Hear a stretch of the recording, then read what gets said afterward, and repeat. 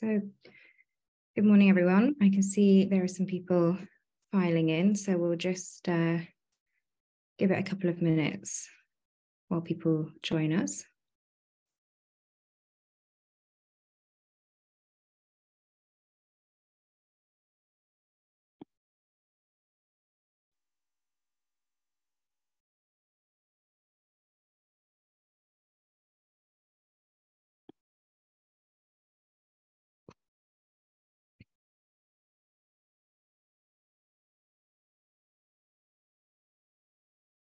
Okay, I think as that's uh, that's gone 10, I'll start.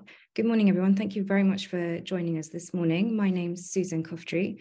I'm Director of the Foreign Policy Centre and uh, really delighted to be hosting this second uh, webinar in the series that we are collaborating together with the Centre for Russian, European and Eurasian Studies at the University of Birmingham and also in cooperation with the OSCE network of think tanks and academic institutions.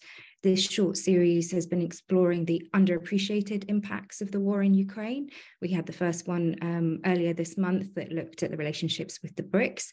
So if you missed that um, and are interested to catch up, you can find that on our website and on our YouTube channel. Um, but delighted today uh, to have a, another fantastic panel that are going to look at the impact of Russia's war in Ukraine on connectivity in Eastern Europe and the South Caucasus.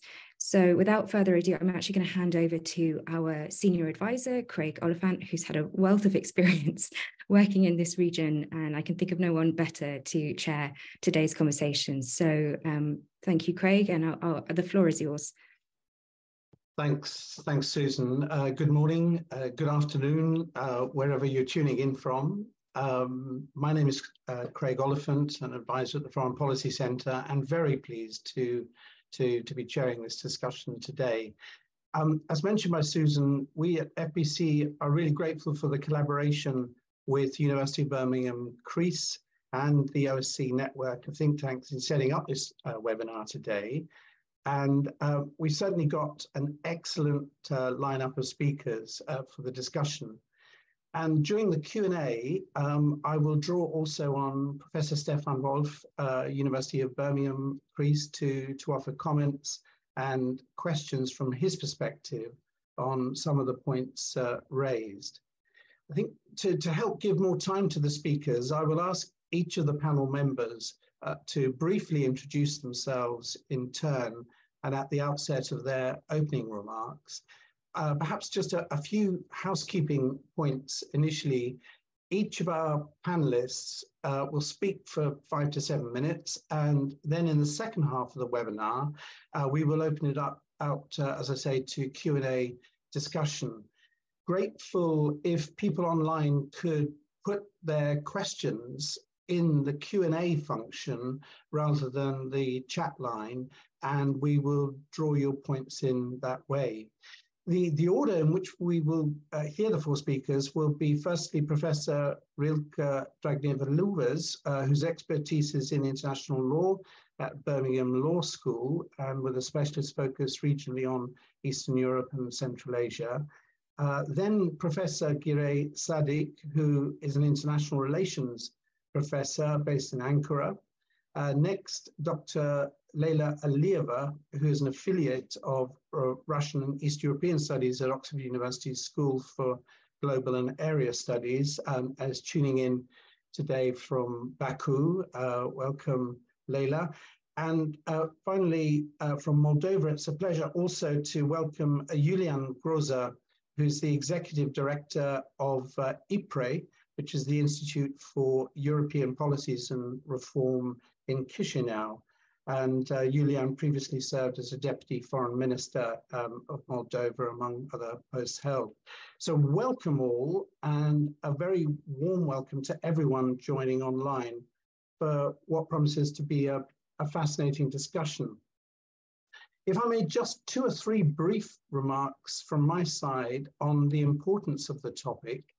Uh, firstly, uh, Russia's war on Ukraine has variously been seen as a massive game changer, both in the region and also for its wider global effects. But it can also be said, arguably, that um, the war is merely accelerating trends that were already underway, uh, for example, with some countries moving uh, more into China's orbit, for example. That is something we could come back to in the discussion, um, namely that the war as an accelerant of pre-existing trends in the region.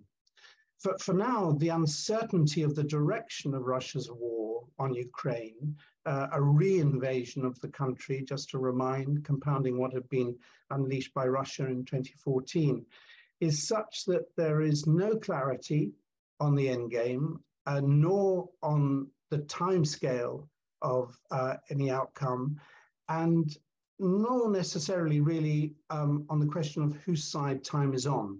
But I'm sure we might come back to some of those issues. But at the forefront, really, of all of our concerns, front and center, is the huge toll of human suffering, the very large number of military and civilian casualties in Ukraine, and the massive demographic um, blow that's uh, incurred also through significant displacement of population, both within the country and those who have been constrained to leave from neighboring countries and further afield, disrupting families and also having, as I say, its own hidden uh, demographic toll in this terrible ordeal.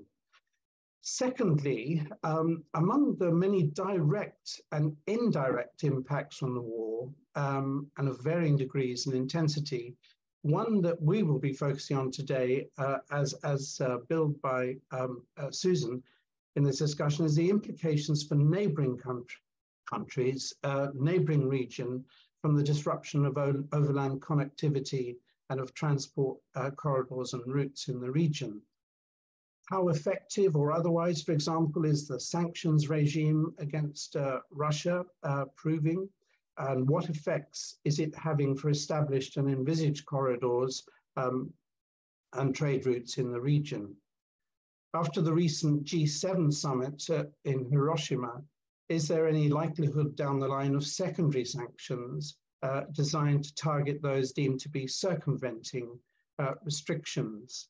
More broadly and specifically, it has raised a number of questions about the viability and connectivity of the northern corridor, which runs through Be uh, Russia and Belarus and makes up an overall 12,000 kilometer uh, overland transport route running from China through Kazakhstan, uh, Russia and Belarus, Poland to Duisburg in Germany. And those questions really on viability have in turn put a spotlight on efforts to develop and galvanize the so-called middle corridor, which is not new, but would require something of a step change uh, in connectors, to, to offer a, a real alternative route bypassing Russia from China across Kazakhstan, the Caspian, the South Caucasus to Turkey, the Black Sea, and on to EU countries. So very much a subject, at the middle corridor, uh, that still prompts maybe more questions and answers among some analysts and regional uh, commentators. But thirdly, and I'll draw my own remarks uh, to close, much depends really in all of this, of course, on the role of China, and specifically the role uh, China is playing in Central Asia at uh, the um, uh, uh, is playing both in Central Asia and the South Caucasus, and also the prospects for the Belt and Road uh, Initiative, BRI, as it's known, in the, in the region a massive trillion dollar initiative launched 10 years ago by Beijing for a, a, network of trade transport routes. And this is a question too for close consideration by our panelists today, namely a consideration of the short-term and long-term implications of the war on the future of BRI across the Caspian, the South Caucasus, Black Sea and beyond. So in winding up a timely, very timely discussion, and not least as the dust is still settling really from the G7 summit in Hiroshima and the Arab League summit in Saudi Arabia. These were each marked, as we saw, by a common feature as President Zelensky of Ukraine joined both gatherings in person and interacted variously um, to particular effect with leaders at both summits, and with Ukraine indeed rightly dominating proceedings for all three days, certainly at the G7. So lots of coverage on that. But really, another summit with perhaps less of a spotlight last week was also something of particular significance, and that was China's hosting of an inaugural uh, China Central Asia C5 summit in Xi'an, the historic Chinese uh, city that once marked the start of the fabled Silk Road. All part of Beijing's uh, interface bilaterally and regionally with countries involved uh, in the Belt and Road Initiative. So plenty of themes and issues percolating here from last week's summitry and of great relevance also to our discussions this morning. Without further ado, uh, uh, Rilka, uh, may I hand the floor to you and ask you uh, to just briefly uh, introduce yourself. And I understand you will be giving us some of the context on how things stand in all of this for the Eurasia Economic Union. Welcome, Rilka. Thank you. Good morning, everybody. My name is Rilka Dragneva-Lewers, and I'm a professor of international legal studies at the University of Birmingham with uh, a long-standing interest in economic, um, regional economic integration in the region uh, and Russia's policy vis-a-vis -vis its neighbors and the broader Eurasian um, region as such.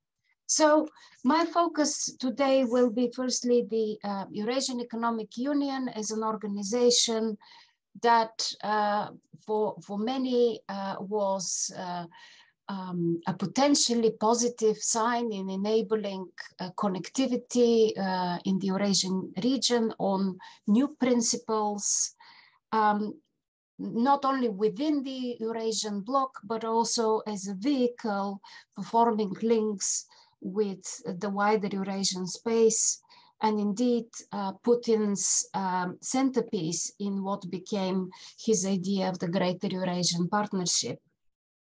So uh, quite an ambitious project to start with, aiming for a deep and uh, a deep economic integration achievement of a common market for 180 million people and a bridge from uh, Europe to the Asia Pacific region.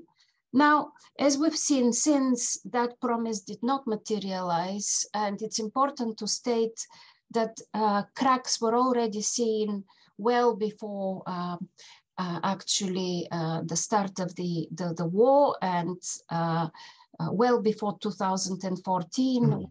the annexation of Crimea took place.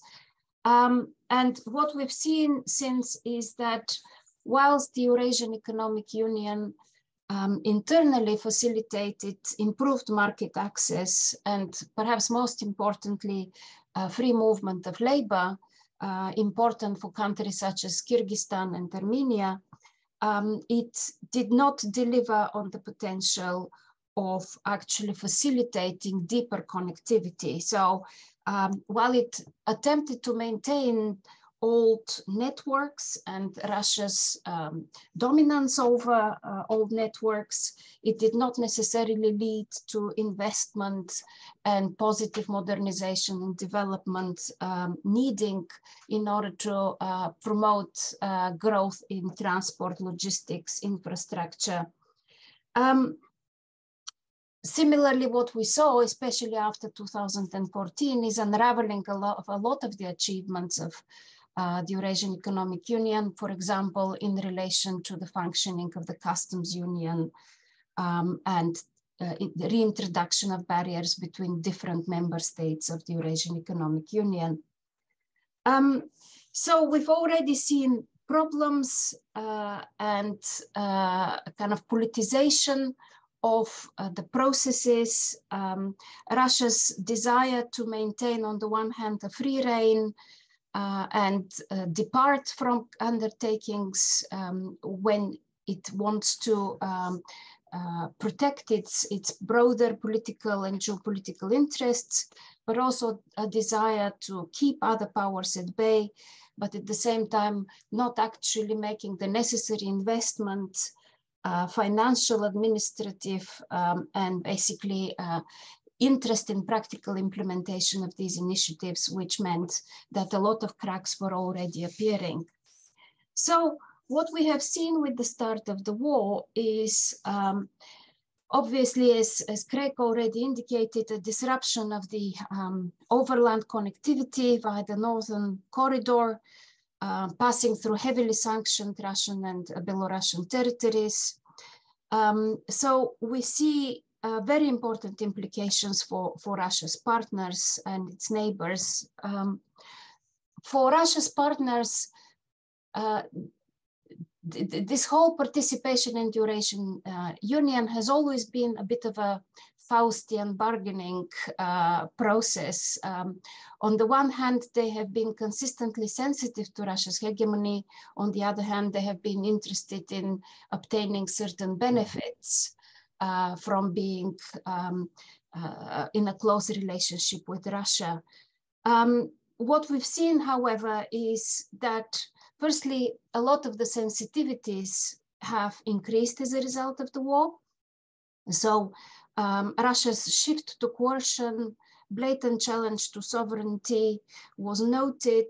Um, I mean, it's in a way one can say um, the latest updated foreign policy doctrine uh, of the Russian Federation doesn't do anything to placate the uh, sensitivity um, arising from various statements um, uh, with regard to the sovereignty of, let's say, uh, Kazakhstan, known for having large um, uh, uh sections of, of Russian ethnic population.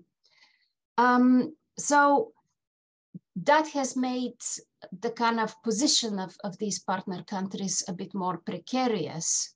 At the same time, they have experienced direct costs from the disruption of um, logistical and, and, and trading routes. Uh, so on the one hand, trade with Russia has become uh, more difficult. On the other hand, uh, it's basically the transit position. So there's been a need to bypass Russian um, infrastructure uh, uh, for, for these uh, landlocked countries, it, that has been particularly difficult, not only because of the increased cost of shipment to global markets, but also because of the uncertainty of being exposed to Russia's action, which we've seen um, a number of examples of uh, it being quite fickle. Um, there have been a number of benefits in the sense of um, uh, there have been new opportunities to uh, profit from uh, developing alternative routes um, and Russia's effort to uh, um, enable parallel imports and uh, bypass uh, sanctioned routes. Um, that, however, has, of course, brought the risk of, of secondary sanctions um, so what we have seen is again this uh, Russia's partners playing this tight, walking this tight diplomatic, uh, difficult diplomatic tightrope. Um, on the one hand, um, they have been very keen to uh, signal compliance with um, the sanction, international sanction regime. Um, as you know, started going back to July 2022, there was a prohibition of export of uh, sanctioned goods through Kazakhstan, for example. Um, Kazakhstan, again, uh, has engaged in regular consultations with Western partners. And most recently, in the beginning of April, they've introduced an online system of, of tracking um, goods going in and out of the country. Um, at the same time, um, it, there, there has been an increase of, of um, about 25% last year of uh, exports from Kazakhstan to Russia. And as a recent report of the European Bank for Reconstruction and Development shows, there has been a lot of intermediated trade going on, um, particularly in, in, in, goods such as advanced semiconductors, bearings, pipes, and so on. So um, a, a, a, complicated dynamic there. Um, and this diplomatic tightrope is particularly difficult also because of Russia's changed ex expectations with Eurasian Economic Union. Um, while it could be said that uh, up to a few years back, um, we could see already a dip in, in the kind of interests following the launch of the Eurasian Economic, Economic Union. There was a bit of a dip in interest in it. Um, from Russia, certainly a dip in interest in um, kind of improving the difficult practical technical aspects to make it work. Um, Putin's latest speeches, for example, January 2023 to the heads of the Eurasian Economic Union countries, uh, indicates three important uh, shifts. Firstly, a shift to actually rationalizing the Eurasian Economic Union from a sort of functional, technocratic, uh, um, exercise in regional economic integration to more sort of ethno-historical type of justifications for the Eurasian Economic Union. Second, emphasizing the role of the Eurasian Union in helping Russia uh, become self-sufficient and independent. So there is this whole shift of, of narrative from connectivity to self-sufficiency and independence uh, and seeing the Eurasian Economic Union as a hub uh, in a kind of alternative system, creating alternative processes, financial, technological, and so on, to the existing Western, um, well, Western dominated, perceived as Western dominated international systems. So there's been a lot more pressure or indication that there will be a lot more pressure for deepening of the Eurasian Economic Union in more kind of political directions. So that really leaves Russia's parties in a quite a difficult situation. Um, and I'm happy to expand on, on those dilemmas in the discussion. Rilka, Rilka, thank you so much for those uh, fascinating insights and also about uh, some of the shifting narrative there as well, which I'm sure we'll come back to. Um, I think what we'll do is, is press on and take all four speakers' opening remarks together, and then, as I say, come to the Q&A. In introduce, in passing the floor now to uh, Giray, I would just um, really urge uh, people on the call, uh, if you want to put your questions, please go to the Q&A function. I might just remind that all the panelists will be with us till 11.30 uh, UK time today. Uh, Giray has to leave just slightly earlier. So if you want to, if you're prompted to ask a question of Giray, please uh, get that in early. Giray, uh, floor is yours and please introduce yourself. Thank you. Thank you, Craig, and uh, I thank the organizers for the organization and inviting me to that panel along with um, very respected, distinguished panelists. I am Giray Sadık. I am professor at Ankara Yıldırım Beyazıt University. I am also director of European Studies Research Center and chair of the Department of International Relations. Uh, my research centers on European foreign and security policy also related on issues uh, about countering hybrid threats, connectivity on a broader sense from uh, maritime, land, energy, and enhancing resilience and hybrid capacity building to sum it up. And at the same time, I'm representing my university at OSCE network of academic institutions and think tanks and I am among its elected steering members. So that is my uh, brief introduction. Coming to uh, my talk, which follows uh, Rilka's presentation and very relevant in that regard, it is about the rise of the middle corridor, which is among the most significant geopolitical developments uh, after, uh, after the Ukraine war. So middle corridor, that idea has been uh, there for a while, but uh, the European attention to that middle corridor enhanced, uh, especially for two reasons after the war in Ukraine. Number one, it's a regional economic zone connecting Turkey, South Caucasus with Central Asia, broadly speaking. And following to that, uh, it is the most direct route from China to Europe. As you see behind, I put the map of middle corridor. The red line uh, is the middle corridor. In the north, there is called northern corridor. In the south, southern corridor with more maritime links. Therefore, uh, in light of the northern corridor has become um, largely unusable due to wave of sanctions uh, that become effectively only functioning recently between Russia and Belarus. So very limited global connection with some uh, Chinese parts also maybe. But uh, when it comes to Western sanctions and therefore supply chain security, the rise of the middle corridor is clearly uh, visible as it is in the map. There are two lines basically.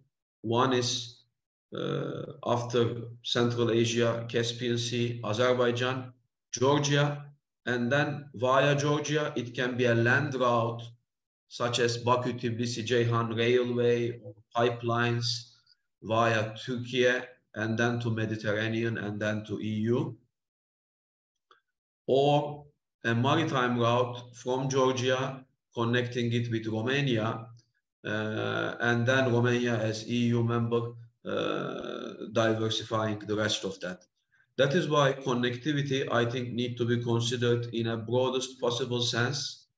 Uh, not only land bridge, not only pipelines, but it goes anywhere from food to cyber to maritime security. And in light of war, those are likely to uh, be more stressed and therefore uh, more important. Something to add with Craig's uh, earlier remarks game changer. Craig, here I am definitely on the game changer part of the war. Because even if there are some already undergoing trends, such as Belt and Road initiative of China or Middle Corridor and other uh, relevant projects, uh, they were there and their role is needs to adapt. But uh, Russian war in Ukraine is also game changer for those uh, already started projects. Therefore, as all of us, they also need to, uh, to be adapted to those changing war uh, realities. And therefore, we need to be all open up for contingencies, increasing resilience and hybrid capacity building against hybrid threats. And finally, keep our expectations more reasonable to allow for flexible adaptation in light of changing geopolitical uh, realities. Therefore, that reconfiguration of connectivity uh, needs to be considered in light of all those factors and therefore uh, needs to put uh, us in a humble position in terms of uh, our expectations from the potential uh, of those connectivity projects in the short term and uh, in the long term to invest more in resilience. Regardless of the war outcome or ending uh, we need to think about resilience in terms of diversifying uh, our supply chains. It's not only about energy energy security it's also about food security as ukraine is one of the major food producers of grain. And that is important to remember that recently renewed grain deal uh, with good offices of Turkey and the UN facilitation. Adding that in the war zone with Russia, an important producer, producer of fertilizers as well, that makes it an issue for global food security as well. Um, in light of those, still, uh, when it comes to middle corridor, there are three uh, common elements that uh, need to be considered for uh, uh, EU and Turkey that share interest in enhancing Eurasian connectivity. Number one is to promote regional peace and stability, especially in the Caucasus, but also after Ukraine war around those days, if you follow with developments in Kazakhstan, you see that soft spots are not limited to Black Sea or Caucasus, they can uh, or they have risks of escalating in other theaters. Number two, increase resilience of European supply chains. And number three, diversify European supplies, which also helps all that cooperation to balance Russian, Chinese, and Iranian influence in Central Asia. Uh, another issue we need to uh, we need to keep in mind when thinking about connectivity. So as Ukraine war is not limited to Ukraine. In essence, connectivity issue is also not limited to just the actors on the line or on the middle corridor, but uh, it has far-reaching consequences, economic, geopolitical, and uh, overall global consequences, ranging from all the way from uh, from the Far East Indo-Pacific to the UK and beyond, because we need to consider those uh, those corridors always in light of their alternatives. Similarly, uh, that is also related with the effectiveness of sanctions.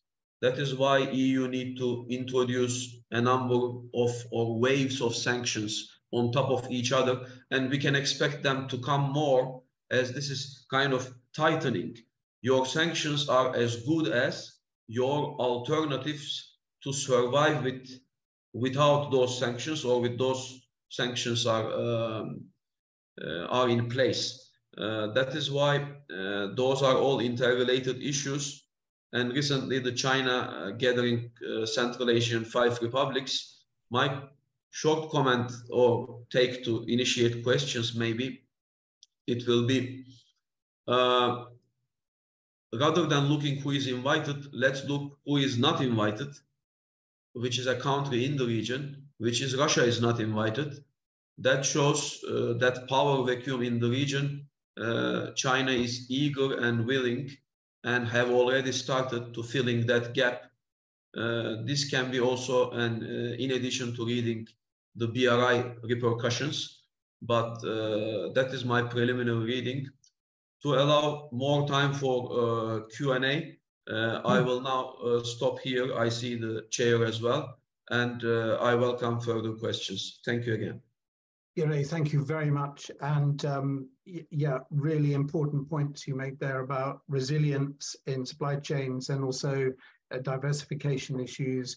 Um, I'm sure there'll be several points we'll come back to, and I certainly have a, a burning question that I will come to you probably first with uh, after we've heard the other two speakers. May I seamlessly move on to uh, Leila now, um, Leila Alieva in uh, currently in Baku. Well, thank you so much. I've been living in the UK for the last eight years. Um, so um, I, am a affiliate of the Oxford University, uh, Russian East European Studies, uh, as already was mentioned. I think the war in Ukraine raised a few questions. Um, for me, uh, two are particularly interesting. Um, when connectivity has a value of a factor against the instability and military adventures.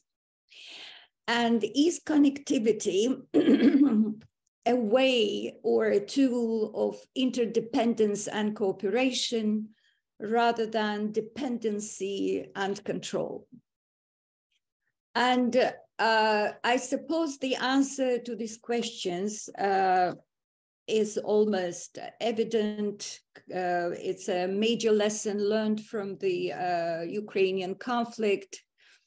It probably, as we already mentioned, the previous speakers, di diversification of supplies, routes, markets, and strategic connectivity also, which took place in the 90s. Um, and in this regard, because as a result of Ukrainian war and sanctions, uh, there are significant changes um, uh, which led to bypass routes. Um, Kazakhstan directs its oil via Caspian, Baku Tbilisi Ceyhan, Azerbaijan. Uh, Chinese becoming has become uh, one of the major players in the global uh, shift in this regards. I, I would say that South Caucasus goes through the second stage of the process, which I called uh, many years ago reshaping Eurasia. Um, uh, the first one took place in the 90s, and I would like just briefly give uh, the comparison between the two processes. The first dealt with energy security, um, and it was built on the initiative uh, although led by the US, but it was built also on the initiative and enthusiasm of the local actors um, who were um, eager to change post-colonial architecture. So it uh, was about diversification of energy supplies to the West. The risks were lower uh, because uh, Russia, since then, from Yeltsin's meddler uh, sort of policy, uh, transformed into Putin's aggressors policy. So the risks were higher in this regard. And uh, uh, there are new independent actors. Turkey became more independent regional actor, and China stepped in. Uh, the first uh, process of reshaping Eurasia was led by the US, while now EU is more prominent. And um, nowadays, even traditional ally of Russia, Armenia, changed, changing its orientation uh, after the revolution. Uh, war in Ukraine has also um, restricted ambitions of some actors like Azerbaijan, who was planning, as you know, to become the regional hub from all directions, north, south, and west um, and east. Uh, and uh, uh, this was helped by the EU and world communities uh, sanctions, which restrict power of Russia in a sense, uh, pushing the countries towards the uh, choices, certain choices. And uh, the connectivity uh, between strategic partners were characteristic, uh, like GUAM, for instance, in the 90s. While now the connectivity is a result already of restricted alternatives due to the war in Europe um, also partly affected by the uh, uh, agreement after the war in Karabakh in 2020. But there are certain commonalities also. They both took place against the background of unresolved conflicts. Uh, the certain conflicts uh, are still unresolved in the South Caucasus. And although the urgency of diversification is more acute nowadays, there is some tension between short term business considerations versus long term political and security interests. In the uh, 90s, uh, I witnessed a serious resistance to the Baku Tbilisi Ceyhan project uh, from the side of multinational corporations uh, who were arguing that this is uh, this goes contrary to the commercial considerations and it will never take place. But the political considerations and long-term uh, sort of uh, policy uh, goals they took over, they won. And similarly, Turkish companies are unhappy with Azerbaijani route due to the high tariffs and uh, some argue that it is the major reason why Kılıçdaroğlu recently was showing the um, map, which shows that uh, uh, Belt and Road Initiative, uh, Silkway, uh, the Silkway uh, route uh, bypasses um, Caucasus. Um, and of course, the similar issue is competition of regional trends of integration versus European or Western, and vulnerability of the South Caucasus vis-a-vis Russia's threat.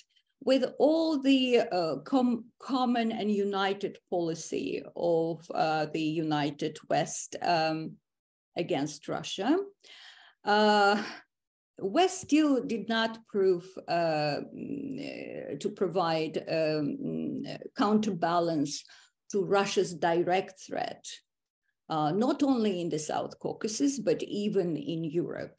So that was a awareness uh, which came uh, to the uh, uh, the um, uh, leaders of the South Caucasus gradually after the 90s. Um, uh, let me stop here and um, I will um, probably answer to more specific questions later. Thank you. Thank you very much, uh, Leila. And in, indeed, um, if I may later, I'd just like to come back to um, get your insights on, on uh, Georgia's uh, role and place at the moment um, uh, in the context of, of the Ukraine war. Um, finally, um, if we now, um, offering a perspective from Moldova, could go to Julian Groza. Um, uh, Julian, the floor is yours. Thank you very much, Craig, and thank you for organizing this uh, discussion. Um, I'll uh, try to refer uh, to three points, basically.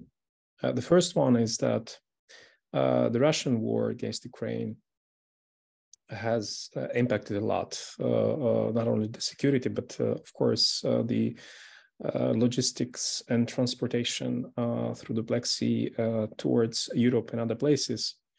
And Moldova, while being the most affected country after Ukraine, of course, feels a, a lot the pressure as well from the first days of the war, uh, we had seen uh, uh, a lot of the, the impact of this disruption of the logistics from the port of Odessa, which was main main hub for the region here in Moldova as well.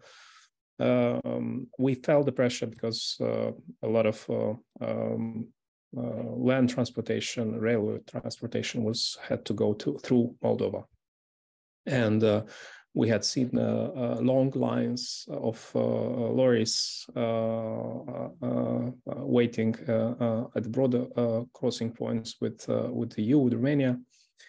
Uh, as well, we have seen uh, a need uh, for um, upgrading the railway infrastructure to make sure that to help to provide new opportunities for uh, Ukrainian products uh, to trans uh, to transit Moldova towards towards EU and ports in in Romania. Um, and in, as part of this basically um, process, Moldova joined the solidarity lanes with the EU. Of course, and uh, uh, Ukraine, Moldova, uh, and the EU have been looking for um, not only um, improving uh, the institutional setup, um, but also looking at the infrastructure uh, as well. And uh, in a, rather short notice, uh, we have seen a rehabilitation of the railroad uh, interconnections in the south to help improve uh, the the transit. Um, the same has been currently being done with Romania. There is another um, bridge which is being floating bridge which is being installed with Romania to help the diversified routes uh, but beyond that, of course, uh, beyond the infrastructure uh, aspects, we also have the um, procedures. And I think what helped a lot uh, first for Ukraine is to join the Common European uh, Transit Convention. This is something that Moldova is also looking into. Also, last year, um, Ukraine, Moldova, and Georgia joined the European Transport Community again to help to include our countries into uh, policies and, and, and, and, funding projects of the EU to increase connectivity. And this is exactly what happened uh, recently. Um, Moldova uh, uh also joined the uh, Connecting Europe facility, uh, which helps now to look into the additional funding to upgrade the not only the transport infrastructure, but but also looking to other connectivity aspects like digital and energy. Um, one more point about connectivity and how that uh, basically how the war impacted all of us here is is just to give a word on the energy because that is also relevant. Uh, a few few days after the war started, Ukraine and Moldova connected to uh, ENTSO-E uh, grid, um, and that helped uh, not only uh, uh, Ukraine but also Moldova to seek alternatives of supply of electricity uh, given the uh, you know the attacks of the Ukrainian critical infrastructure by Russians, uh, blackouts, which you also felt in Moldova as well. So that was very important. Um, now, um, final point I want to make is that uh, the connectivity topics have been also addressed in the last European Political Community Summit, which was held in Prague a part of peace and security uh, energy aspects we have been addressed, but also uh, uh, have been touched to the aspects of connectivity. Now, uh, in Moldova on the 1st of June, we will host the second European Political Community Summit and connectivity, interconnections is one of the three topics which will be further addressed.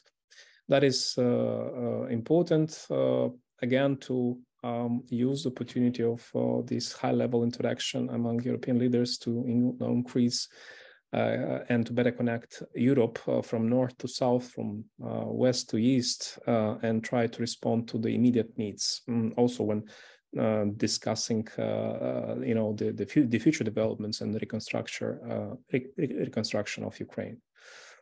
Um, these uh, initiatives, uh, uh, upgrading solidarity lanes or you know bridging the gaps across Europe from uh, through transport connectivity uh, projects, um, which are now being included, updated in the connecting facility, uh, may help to better bridge the existing gaps between the region and and the rest of of the of, of Europe.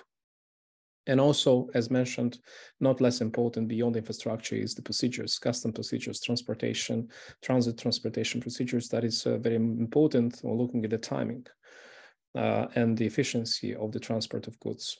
Um, and this uh, um, also is relevant to the exchange of information between the countries uh, in the region as well. Uh, to create more, again, more interconnected Europe and to enhance, you know, solidarity among European states. Uh, last point, I think, which is relevant, uh, we're looking towards the funding, uh, of course, and looking to towards you know the reconstruction of Ukraine in the future, uh, uh, which shall be also debated in the upcoming summit. Uh, from from our perspective, is to look into the risk insurance mechanisms for investment beyond you know funding, which is provided by various you know international financial institutions um, uh, we need uh, to encourage uh, to develop a risk insurance mechanism which would uh, help uh, you know uh, boost more investments in infrastructure projects um, in the region. And this may encourage partnerships among private sector you know governments international financial institutions and that may be something which should we all look at. Thank you. With that i will conclude and of course i'll be more than happy to the q&a session to look for the q&a session. Thank you Julian, uh, thank you so much uh, for that overview, very uh, rich in details. And um, I'd certainly like to come back, if I may, to um, the uh, upcoming uh, European uh, Political Community Summit and some of the expectations there. we already have questions coming in online, and um, I am mindful that uh, Giray uh, will be with us through to 11 o'clock UK. So I wondered if I could just abuse the chairman's prerogative and maybe initially throw uh, a couple of questions to Giray, and then I, I just have a, a cluster of questions more generally for the panel that I'll follow up, up on. But it was just to give a chance um, to come back here. I mean, Giray, um, as you were saying on the middle corridor, uh, it's um, uh, um, on the one hand a kind of a more direct route from China to Europe, but as a route, it features several more border crossings than the Russian route, as well as the need for multimodal transfers, you know, with the Caspian and the Black Sea. And I know connectors are going in here, but I just wondered if you could say a bit more about the challenges around costs and relative slowness, or maybe that is not how you see the situation. And a second corollary one um, is uh, something we've not mentioned in here is this um, north-south uh, corridor. I mean, with uh, great fanfare two weeks ago, um, uh, the Russians and Iranians have announced um, uh, a um, uh, an agreement on uh, a, a, railroad connectivity there. Do you, Giray, see any um, complementarity between the middle corridor and the north-south corridor, or would you say they are kind of exclusive? Thanks in the first instance if you could come back on that. Great, thank you. Uh, those are indeed very relevant questions. Starting from your second question, uh, complementarity, as I touched upon, and that's the reason I put the map, all those corridors are relevant um, vis-a-vis -vis each other or uh, based on their interrelationships because the amount of volume of trade, however restricted, at the end of the day, you need to transfer it. You cannot use the upper route, you have to use the southern route more. You cannot use the middle corridor, you need to use the maritime route from uh, the blue line there even more. So um, they are, they have to be considered together. Whether we may consider them complementary, uh, if there was no war, that could be another issue, especially, for example, the situation of Azerbaijan uh, will be important and increasingly important, regardless of the result of the war or even without war, because it's uh, for the middle corridor a key country, and for north-south corridor also it's uh, another key country.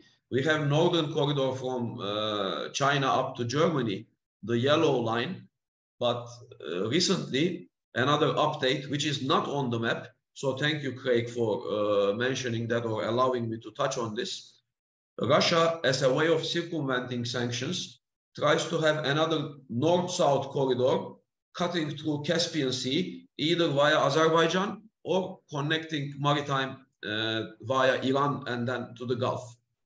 Therefore, uh, complementarity, uh, not necessarily, or depending on the actors, such as Azerbaijan uh, may choose to, if you wish, play both hands or try to uh, uh, substitute one when the other fails to work or fails to consider the legitimate uh, security concerns of Azerbaijan.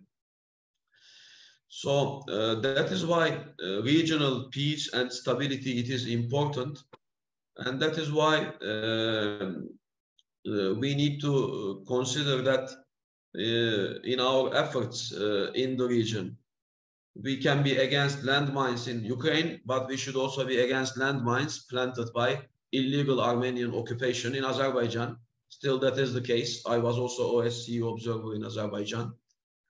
And um, so we need to keep in mind, we are against illegal occupation of Ukraine by Russians, yes, but also illegal occupation of Azerbaijan internationally recognized sovereign territory of Azerbaijan as well. Coming to uh, your uh, second question, Craig, can you please briefly remind me the second question? We're really, uh, no, it, it, was mainly about um, the issue of costs and, and slowness through the middle corridor route. Yeah, sorry. Thank you. Thank you. I now remember uh, I took note. Yes, that is important. This is why I also took note. There will be uh, opportunities will always come with challenges and benefits with certain costs and risks. And uh, the war in Ukraine make all those even more pressing. What I mean uh, is that lots of border crossings mean at each border or at for each actor, there is a potential number of problems. To overcome this, within the regional framework, Turkey and Azerbaijan initiated a number of two plus one meetings with Turkmenistan, Kazakhstan, Georgia. Some other countries like Romania can be added to this. And EU can step up efforts here by also what Julian touched upon. It's called soft in infrastructure, meaning uh, border checkpoints, procedures, streamlining of trade, protocols, standards. EU does have a capacity here. And uh, I think uh, it can be used as a capacity building. Another issue is uh, critical infrastructure protection. We have seen from Nord Stream what it can happen to pipelines when they are not properly protected or when there is some risks. Similar risks remain uh, for the region, especially volatile regions like South Caucasus. And when it comes to transportation also, uh, with the maritime security, you know, there were some mining incidents as a result of uh, uncontrolled sea mines uh, having risks for navigation safety in the Black Sea. So we are on the same page. There are challenges, and the Russian war there exacerbates those challenges, not only for Ukraine, but also for the countries in the region, primarily Black Sea countries, uh, such as Turkey with the longest coast and Turkish Straits, but also for countries like Romania and Moldova in the region.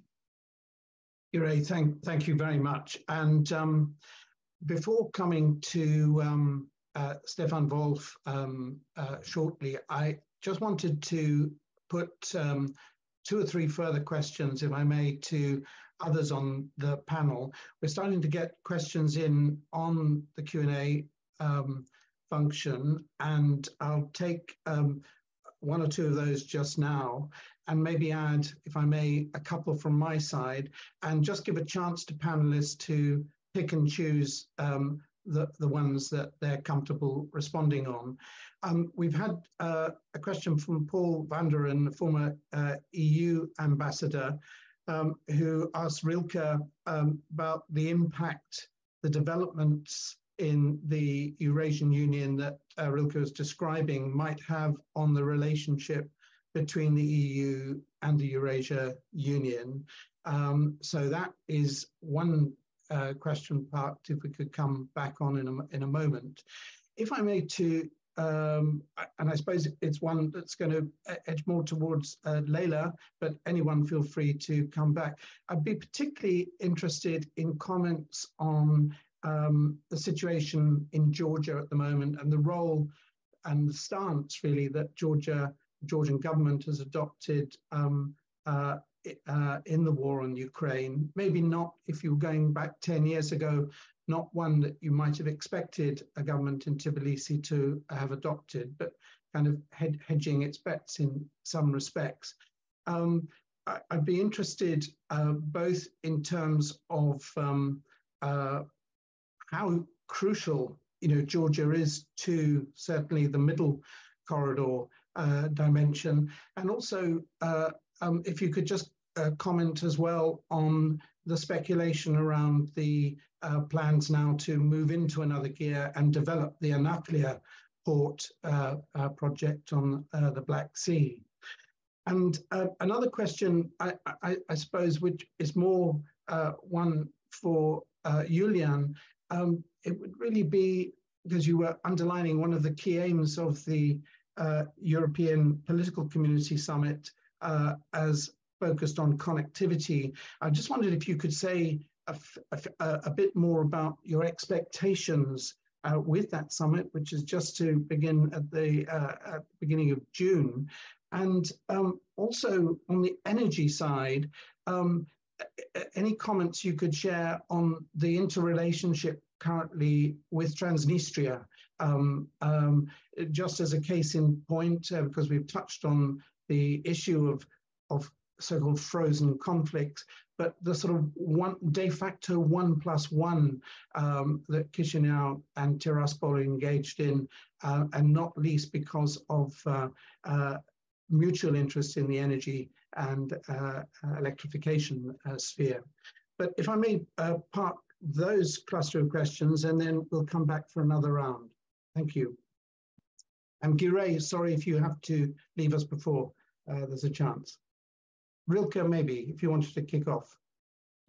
Yes, thank you very much, Craig. Uh, and uh, I addressed, broadly speaking, those questions. Uh, we will be in touch. Once again, thanks for organizers. I have to leave to catch up with another meeting. Thank you again. Thank you. So, Rilka, please do feel free to come back.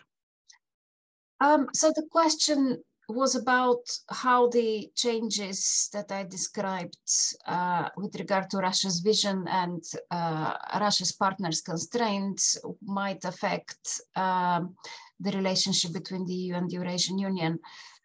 Um, going back to 2014, 2015, there was a lot of uh, kind of political uh, momentum within the European Union to perhaps engage with the Eurasian Economic Union as a way of depoliticizing relations with Russia, sort of uh, pr promoting peace through finding a kind of technocratic uh, option um, and focusing on economic cooperation and uh, kind of de-stressing uh, international relations.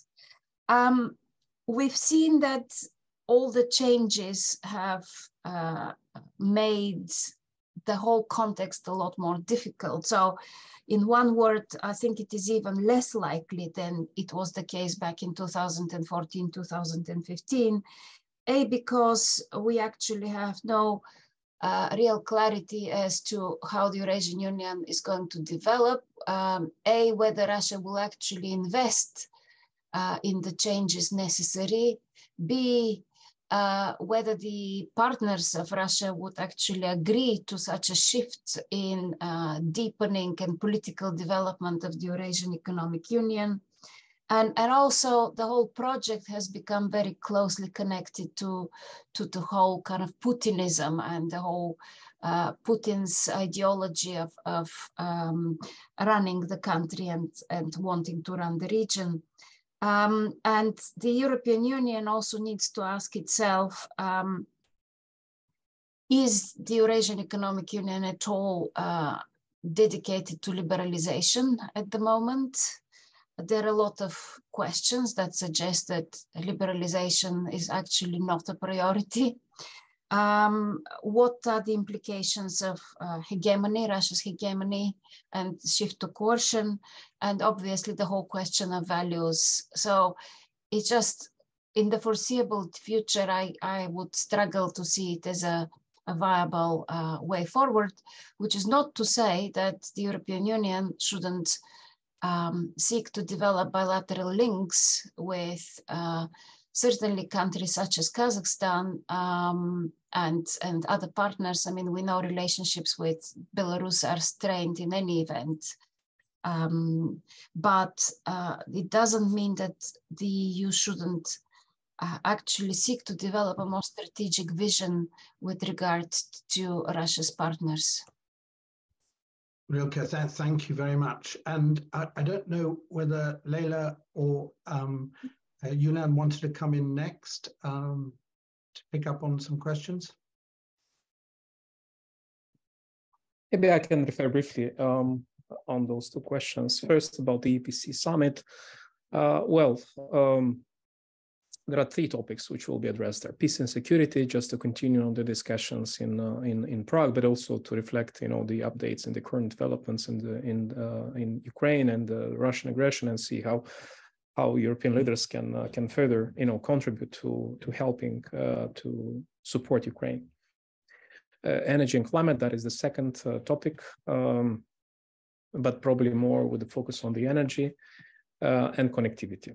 Uh, so there are three, three topics, and of course the expectation from the summit should be very moderate in the sense that we will not have any kind of a declaration of a summit or kind of a resolution this is not uh, the format. Uh, the uh, the leaders liked very much, you know, the the flexibility and uh, the comfort uh, to interact and to discuss without, you know, bureaucratic procedures of uh, adopting texts, which usually happens in the kind of formal summits of, of, of in various of institutions.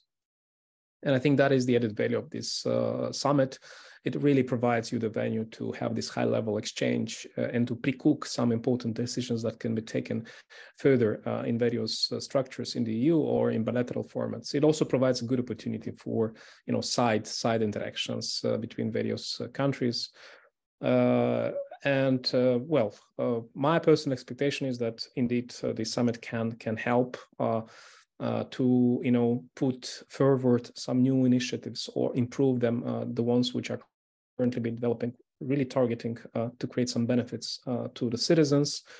Um, uh, and uh, again reconstruction of ukraine will be an implicit su subject because when you look at all topics basically the silver lining is very much connected to to that now, on the second part of the question on energy, uh, first I have to mention that uh, uh for the uh, in the last year we have seen uh, radical changes uh, when it when when talking about the energy um, resistance, resilience of, of of of Moldova in general. Uh, in one year, uh, uh, due to Russia using energy, weaponizing energy, black using it as a, as a pressure on Moldova, after the first first uh, this type of signals we had in 2021 in autumn before the increased energy prices crisis and so on and so forth uh, over the last year what we have seen uh, a coordinated effort with the EU and other international partners to uh, help Moldova to develop alternatives uh, and to increase the energy resilience of the country and what happened uh, basically uh, with the budget uh, uh, um, up to about half a billion euro um, that included you know cash from European financial institutions like EBRD as well as direct budget support to, min- to mitigate increased energy prices on vulnerable groups in my country. With that, uh, Moldova managed to go through the winter uh, because uh, last year in autumn, uh, we were not sure how, how that will, will go with an increased energy prices. Uh, but what happened finally, thanks to uh, this coordinated effort, Moldova managed for the first time in 33 years, 34 years almost of our independence, uh, we managed to uh, increase our energy independence from Russia gas supplies. And uh, practically over the last six months, Moldova is not consuming Russian gas, Moldova with the exception of Transnistrian region. That is to mention. Uh, that it was possible because uh, um, uh, the government managed to secure funds to buy gas on the market. To store it in Ukraine and Romania, and that is something that is is happening now. Of course, the second component is very much linked to that is electricity, and this is where Transnistrian region comes. Um, uh, Moldova has very little capacities of energy production uh, about 25% of, uh, of, uh, of, of, capacities. Uh, the majority of the, of the electricity, which is, it is produced in Transnistrian region. Uh, and uh, the Kuchurgan power plant, which is owned by Inter RAO, a Russian, a Russian company, was the main basically supplier before the war. and after the war started, continued to be the biggest supplier because Ukraine due to uh, uh, the uh, attacks by Russia's rockets of the Ukrainian electricity infrastructure, Ukraine had to stop exporting electricity. And basically, what happened is that Moldova started to buy all the electricity from Kuchurgan. However, what happened uh, uh, in the meantime and helped Moldova to seek for alternatives and increase our, again, electricity independence uh, was that few few days, as mentioned, after the war, Moldova joined the ENTSO-E together with Ukraine and connected to the grids of the EU, which were very helpful, uh, especially uh, in autumn last year, when uh, uh, uh Tiraspol, the Kuchurgan power plant, suspended the supply of, of electricity to Moldova. Why? Because, uh, well, formally Russia has decreased basically the supply of gas and gas is the main uh, source for production of electricity. And because they had a deficit uh, of gas in Transnistrian region, they basically decided to suspend the production of extra electricity and not sell it to, to, to, to, to Moldova. So for about a month, a month and a half, Moldova was uh, out of options, uh, of traditional options. And what happened is that thanks to Moldova's connection to the EU grid, uh, Moldova managed to secure uh, the necessary supply of electricity from EU market, from Romania. So basically for about a month, we have been consuming uh, all our needs uh, from Romania, again on subsidized price because some of the amounts of, of the supplies from Romania were subsidized by the government as a support for Moldova to resist, you know, the, the crisis. Uh, but that also didn't lasted a lot, a, a lot for a long time. Why? Because while we have been having connection, only one connection to Romania, and that's uh, uh, a vulnerability in terms of security of supply. So we had to have two connections. And um, because of that, uh, when uh, the blackouts happened in Ukraine, when the rockets uh, started to attack Ukraine, uh, our system was also affected. So we had blackouts in, in the whole country, and that it was happening before the winter time. And at that time, we had this, you know, uncertainty in terms of gas supply, uh, and we had uncertainty of electricity supply.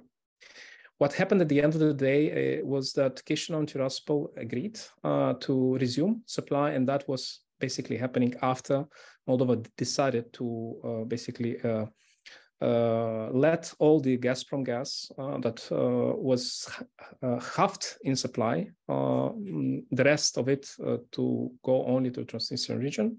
And the exchange was that uh, Kuchurgan was started started to deliver electricity on again on on quite cheap price if to compare with the energy with with, with the market price so basically in half uh, which helped us again, with uh, uh, about uh, 10 to 20% of supplies from Romania, plus the rest of supplies from from Kuchurgan, it helped us to resist uh, the winter, but uh, and also with not an increased pressure on the on the price uh, due to the decreased you know prices from Kuchurgan. But the, why I'm saying this because when talking about Chisinau and Tiraspol, um, and here I'll conclude. Uh, the observation I had is that since the war started, Tiraspol authorities uh, um, were, were sending signals uh, that they're not interested into into escalation of the war. They were quite, uh, uh, you know, uh, um, sending very clear signals that they they do not want to have any any any escalation. And Chisinau, under even though being under pressure of Russia, you know, legal presence of troops, uh, presence of uh, independency on the, on the on the gas and so on and so forth. But still, uh, uh, due to this interdependency between Chisinau and Tiraspol, um, mm, uh, and again, obviously, since the war started, Transnistrian region is 100% dependent on the on the rest of Moldova in terms of supply of trade of everything. Everything goes through Moldova to, to the region, uh, uh, which was not the case as it was before the war. So there is this interdependency between mm-hmm. Chisinau and Tiraspol, and there is a joint interest, interest uh, to maintain this stability and peace also because uh, i mean in time uh, those small steps policy of of uh, confidence building between Chisinau and Tiraspol including in trade facilitation i mean uh, application of the DCFTA in Transnistrian region. All that helps to increase, you know, the connecti- the, the, the, the linkage between uh, Tiraspol and the rest uh, of Moldova with two thirds of trade and uh, uh, and so on and so forth. And on the other hand, Moldova being still dependent on the uh, electricity supply, so that independency helped to keep, you know, stability there. Uh, because the in Tiraspol, what we have, we have a group of uh, basically uh, a business group of interest, which is controlling the region. Uh, and they're very much dependent on the opportunity and the possibility to trade and to maintain you know uh, their their their revenues and that is in a way if you want kind of a, a counterbalance uh, to russia's influence in the region so there is kind of a uh, this uh, uh, leadership in the region obviously is not willing to you know to to to to engage the region into the war uh, because that will affect their business interests as well. So, and also, I mean, if to look in the future, uh, I'm not sure people in, I mean, the leadership in Transnistrian region uh, would be willing to be replaced some kind of by some kind of a Pushilin like it was in Donetsk. So they don't want to lose, you know, the their their their influences, and that is something which helps in a way to maintain kind of a uh, a more pragmatic approach and at the same time maintaining st stability and peace and which is encouraging very much now the one-to-one discussion. But that is very much temporary and of course what we just finally to, to, to, to mention what we see the government is doing now is looking towards a more long-term vision of reintegration of the country and see how uh, these independencies as well can be used you know to better structure uh, the vision for the integration of the country, also in the context of the war uh, and uh, uh, of the outcomes of, the, of this war. Julian, thank you very, much for that very sort of full full set of insights there. Um, and uh, Leila, I just wondered, you know, shifting the focus back to the South Caucasus, um, if you could come back with uh, some comments on the Georgia situation. Also, um, uh, before we come to Stefan Wolff, um, you know, one of the issues we were going to be looking at um, is, you know, China's Belt and Road, um, a, a, business model that seems to be built on uh, debt for equity. Um, and um, I'd just be interested, Leila, in terms of uh, in the South Caucasus, how you see that uh, Belt and Road initiative um, uh, kind of viewed and going forward. Thank you.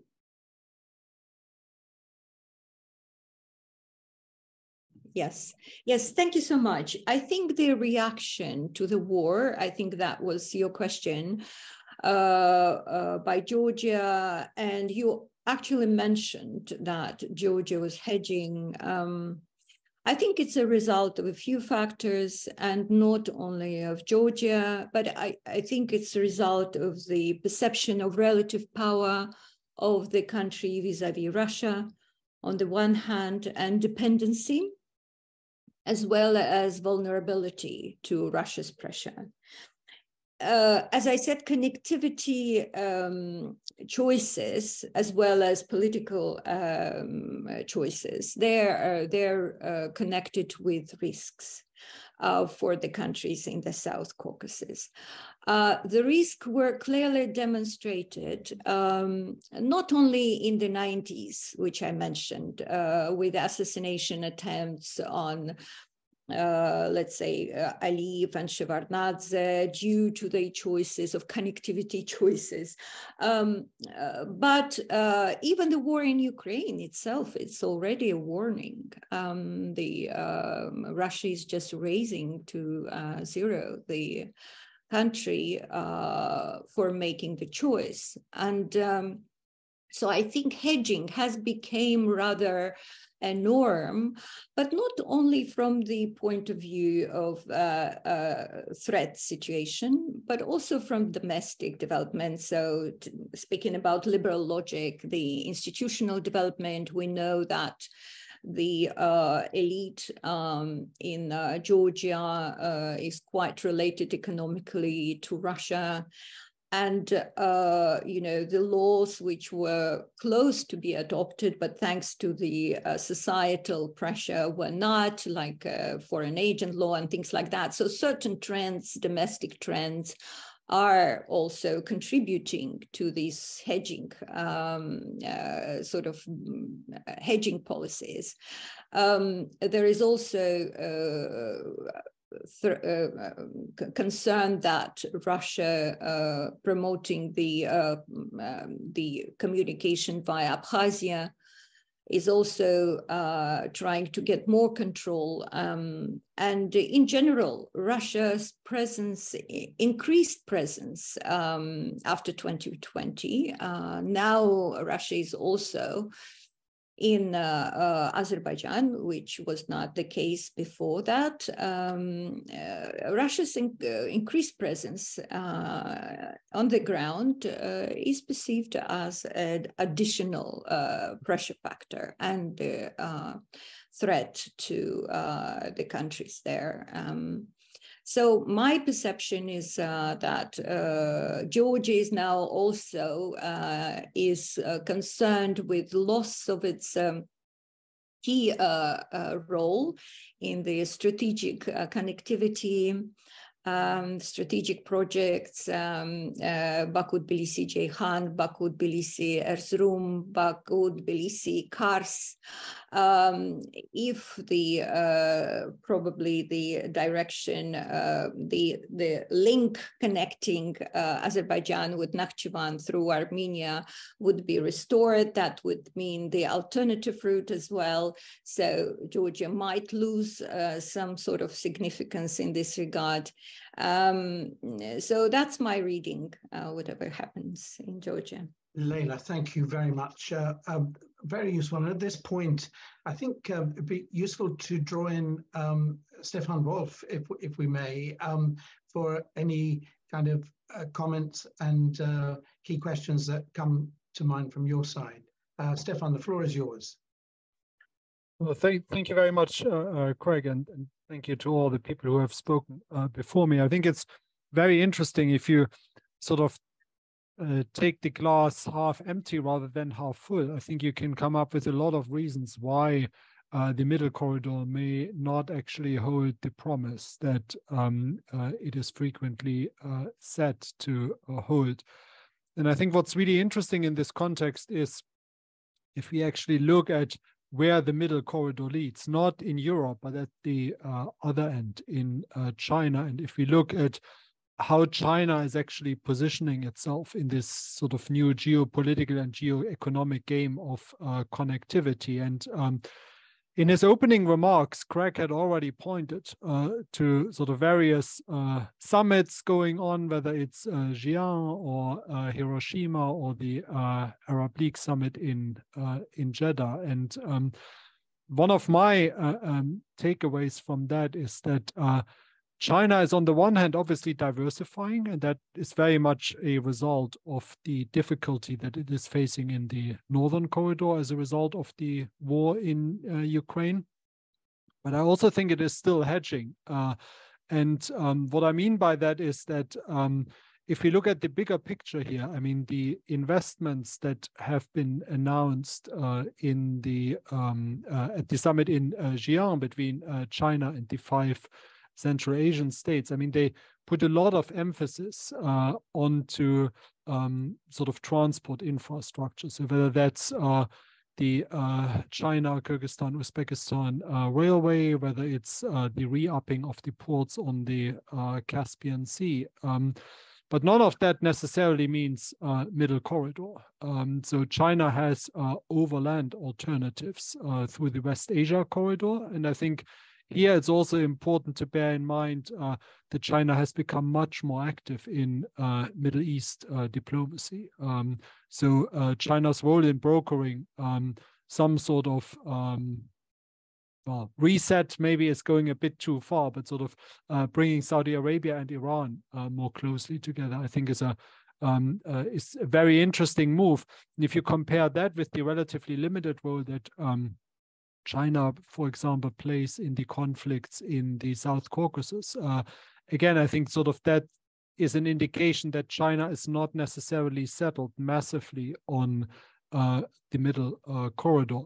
And finally, I think we also have to bear in mind here that obviously within the Caspian uh, uh, Sea, Russia is still a major naval power, and the pressure that uh, Russia is able to exert, for example, on Kazakhstan uh, uh, in relation to um, the uh, Kazakh uh, pipelines through the Caspian. Um, I think that's potentially a concern for China as well. The military uncertainty in the Black Sea, um, the lack of a deep sea port in uh, uh, Georgia. Uh, again, that does not necessarily bode well for um, sort of a very vibrant uh, middle corridor. Uh, certainly not in the in the short term, uh, I would say. Um, and the final point, and I'll just mention that here uh, before handing back uh, uh, to Craig, is of course um, sort of the north-south connections here. And I here I'm thinking less of the Russia-Iran links, but more um, about the links to uh, Afghanistan, for example. And there was a question in the um, uh, uh in the Q and A uh, about this as well. And given that China now actually has an official policy uh, on Afghanistan, well, they have a position on uh, the situation in Afghanistan. Um, 11 points, quite similar to um, to the policy on on Ukraine in, in in some ways. I think that also indicates that China is uh, desperately looking for uh, alternatives, um, partially to the uh, China-Pakistan economic corridor, which is uh, exposed to quite a lot of instability, um, but also again trying to um, consider different routes that would also link uh, the Central Asian uh, economies better to the um, uh, sort of global economy, um, for example, through Afghanistan and then ports um, at the Arabian uh, Sea.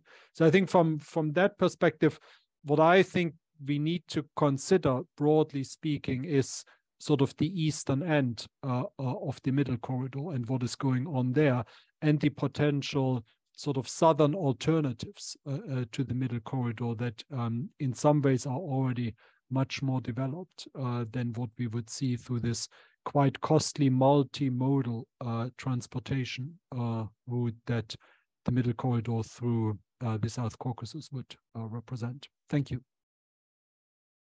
Stefan, thank you not only for you know those wider contextual uh, points you made, but also yes, some of the the challenges and caveats that need to be borne in mind um, around the middle corridor.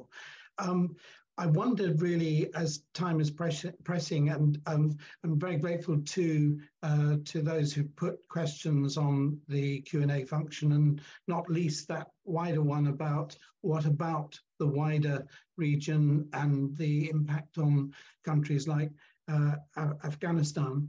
But I just wondered in the final few moments to give the panelists a chance to come back on um, any of those points that Stefan was making there.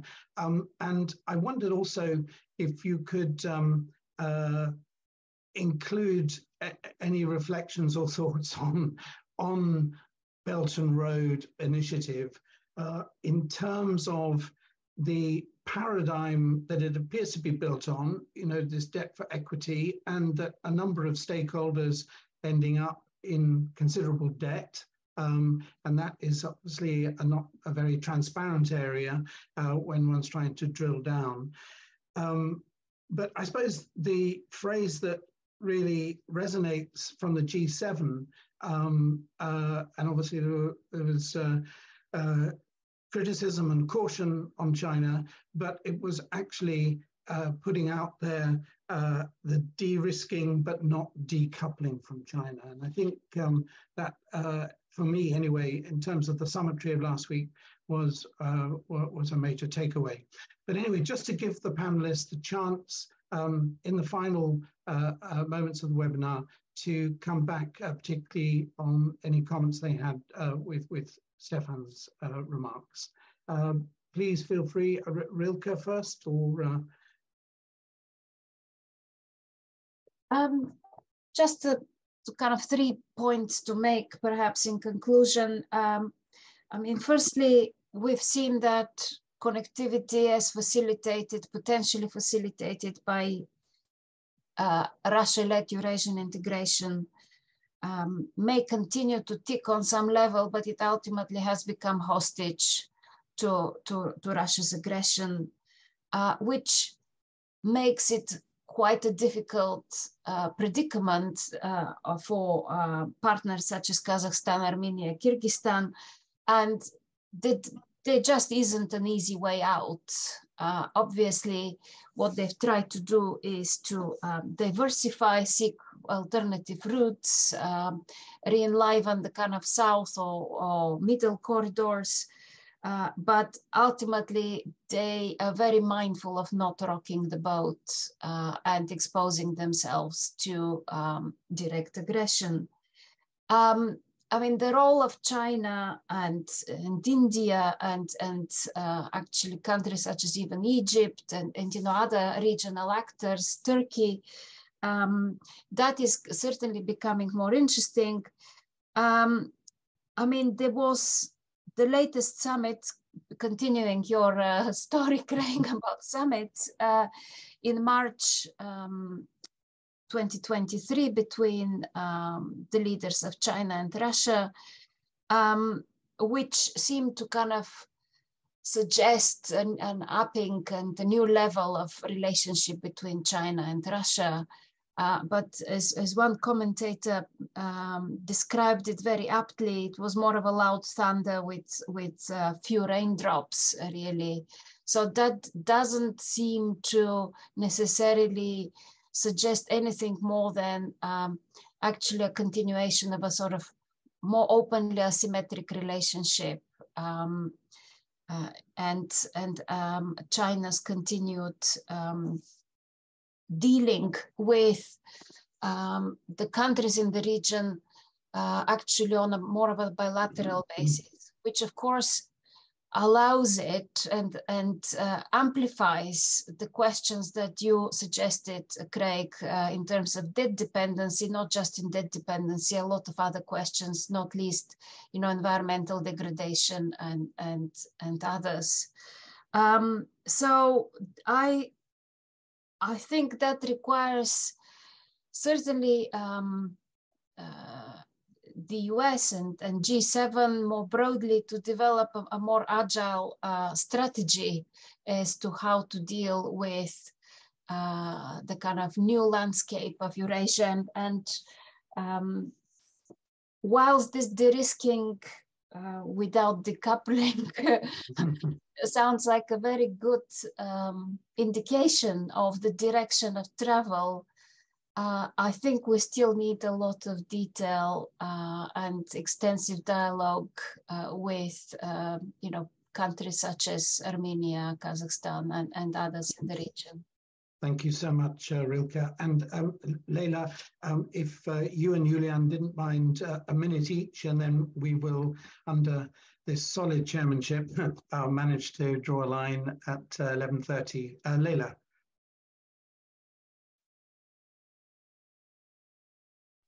Uh, thank you so much. I think the countries in the region benefit from competition between various actors.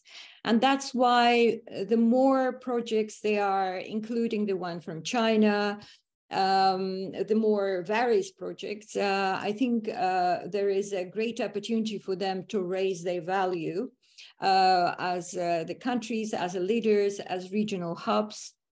Um, so that's, I think, the main uh, conclusion. Also, there, uh, China is too far um, on a distance. It's also culturally quite far, so they don't see it as a threat in terms of uh, political influence or um, identity issues are not involved here.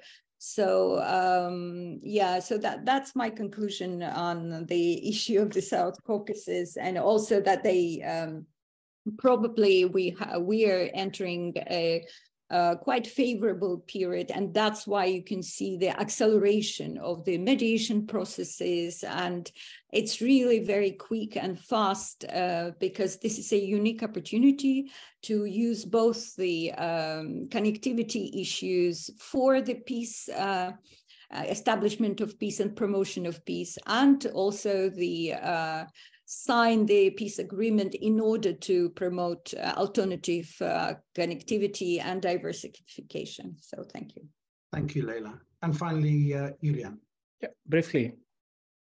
Uh, I think one should prioritize uh, the interventions, and that is not only uh, looking at you know medium to long term kind of connectivity projects, but one should also uh, focus very much on the immediate needs um, uh, that impact a lot uh, the whole Europe when you talk about you know transport infrastructure. Uh, I, I, don't I don't talk here about this, the mm. security implications, uh, uh, not to mention them.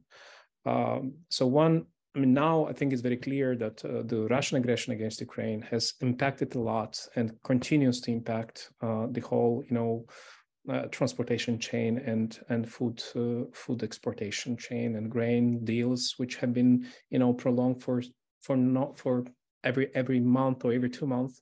So there is an uncertainty there. So beyond looking at you know long term projects i think one should look at at the current needs and see the best ways to address them.